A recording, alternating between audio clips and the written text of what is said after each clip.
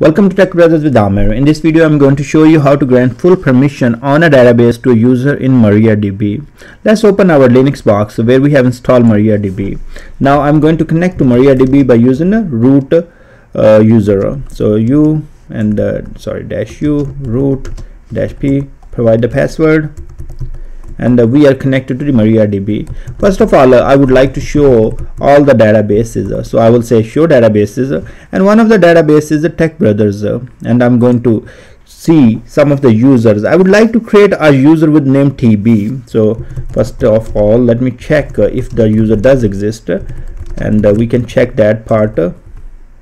my SQL.user table. That's where our user information is uh, we can see that we do not have a user tb i'm going to create this user.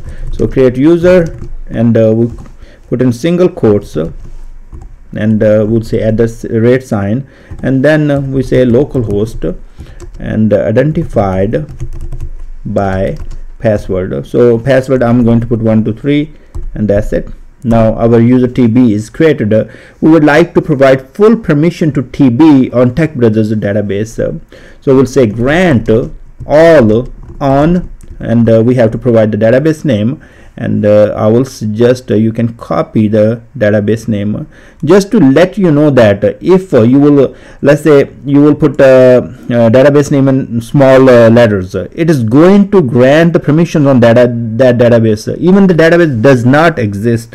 So if we want to experiment that we can experiment then we come back. Okay let me do this. So if I will say tech brothers in B in small letters and uh, we will give the permissions. So this is how you are going to give permission anyways.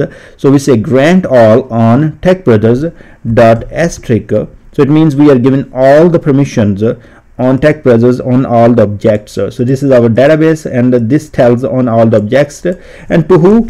To tb at the rate host name. So local host. And uh, that's it now you see that it's a one row affected and uh, actually our database name was tech b capital but we did use small uh, b here. So let me exit from here and then I come back with TB so I will say MySQL dash u and uh, we say TB and dash p. And we provide the password so 123 and now if I will say show databases uh, it should show me the database uh, uh, that's the information schema only. And we have provided all the permissions on uh, tech brothers uh, database uh, but b b with the small. So if you notice that b with small right here. And uh, but actual our database name is uh, this one.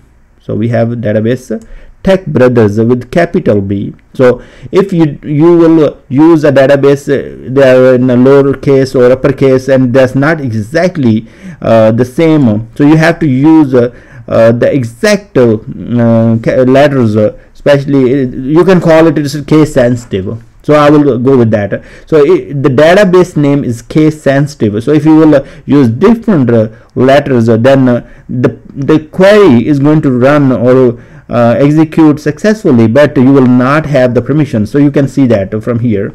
Now I'm gonna exit from here and then go back uh, and copy our query. We can copy query from here and you see that I'm going to copy exactly same query. And uh, now we log in with the root again. So I will say my SQL dash u root dash p and uh, we provide the password. And this time uh, when we are going to paste this query here now let me actually because if I paste it here it runs it. Uh, so uh, I'm gonna just uh, do one thing here and uh, paste it here and uh, change to the exact name of the database uh, and provide the permissions. Okay we should be good now. Now if we'll exit and come back with TB so we'll say mysql dash u tb and the dash p provide the password and now if we say show databases uh, we should see the tech brothers database. So uh, the name of the database is uh, case sensitive. So make sure when you provide the permission you take exact name of the database. Now let's see if we have all the permission on tech brothers. So tech brothers we got uh, into tech brothers. Now we say create table dbo test and uh, we say id integer we created a table uh, okay? So I'm sorry uh, I'm still used to SQL Server I'm saying in DBO schema. So I don't have to say that. So table is created. Now if I want to insert the data into table test values and I will say one one row insert select star from test. So you can see that uh, okay select star from test. I can see the data from the table. And now if I would like to see show tables so it will show me tables. We have uh, two tables. And then select star from employee. And uh, I can see again making mistakes uh, with the spellings.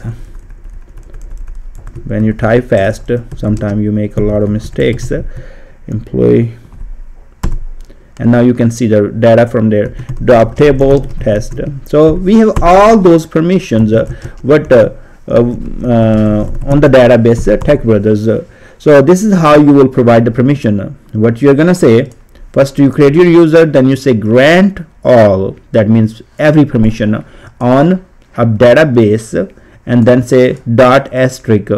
So on all the objects to user and again remember that uh, this database name is uh, case sensitive. Thanks very much for watching this video and i will see you guys in the next video